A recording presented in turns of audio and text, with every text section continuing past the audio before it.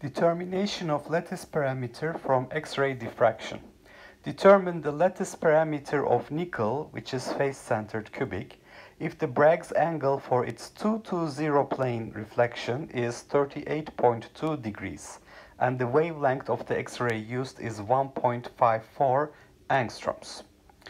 Now, uh, in order to uh, apply Bragg's law here, I want to recall the interplanar spacing in a cubic crystal.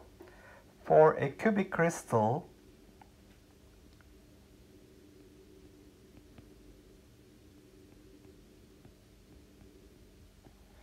uh, we know that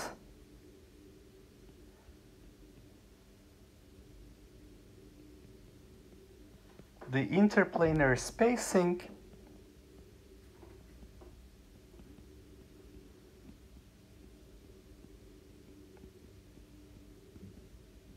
So this will be the spacing between HKL planes, DHKL.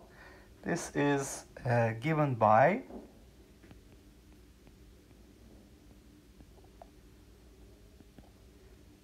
D sub HKL is equal to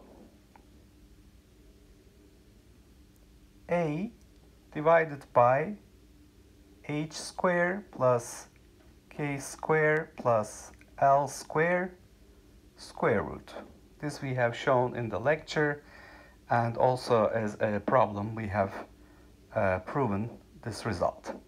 So with that, for the given problem I have the lattice spacing uh, uh, A, lattice parameter A is A divided by square root 2 square plus 2 square plus 0 square because h uh, 2 to 0 implies h equals 2, k equals 2, l equals 0.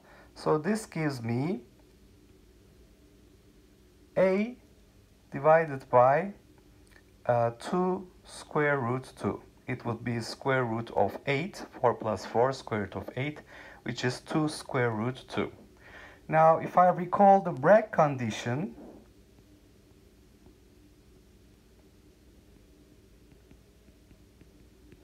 Bragg's law tells me uh, interference, constructive interference will occur when I have the path difference to the HKL sine theta for reflections from the HKL planes is equal to lambda. This is the first order uh, Bragg reflection.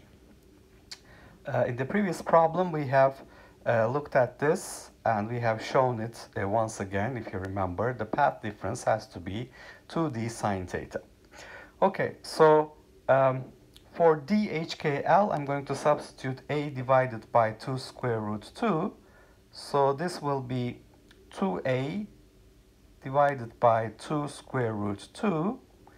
And I have sine of the angle 38.2 2 degrees and this must be equal to one wavelength 1.54 angstroms and that gives me for the lattice parameter A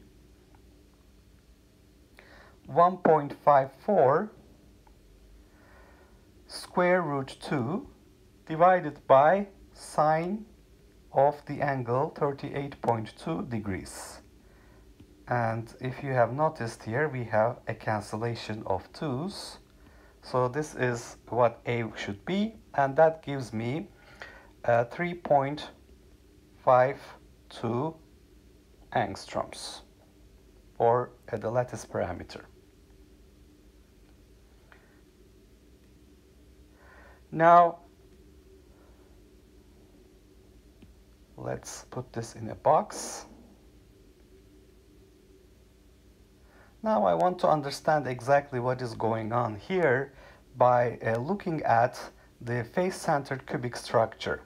So here you can see the face-centered cubic structure. This is for nickel now. A is my lattice parameter. 2 to 0 uh, plane will intersect uh, x and y axes at half a lattice constant and they will be parallel and the plane will be parallel to the z axis uh, it will have an intersection at infinity. And 110 plane is the plane that's parallel to it that intersects the xy uh, axis at one lattice constant and running parallel to the uh, z axis. So you can see that what I'm trying to find here is the distance between this 220 and 110 plane because those are the uh, nearest uh, to 220 planes. Okay, so if you look at the, the blue line is basically the uh, projection of this plane onto the xy plane uh, and the red line is the projection onto the xy plane of 110 and you can see here that if I look at the basal plane if I look at these projections the distance between these two planes is d then I have uh, because this is uh, the the face diagonal is going to be equal to 4d uh, I will have 4d equal to uh, from the right triangle here a square plus a square is the hypotenuse square. So I will have a 4d must be equal to a square root 2 and the distance between these planes should be a square root 2 over 4 which is a divided by 2 square root 2. So this is exactly the result I have found using this formula a divided by square root h square plus k square plus l square. So the uh, interplanar spacing uh, between two uh, adjacent to, to zero planes is d. So in this plot here, the uh, 2 to 0 plane and 1 1 0 plane are um, the nearest uh, planes that are parallel. And you can see that the interplanar spacing is one fourth of the face diagonal uh, of this cube.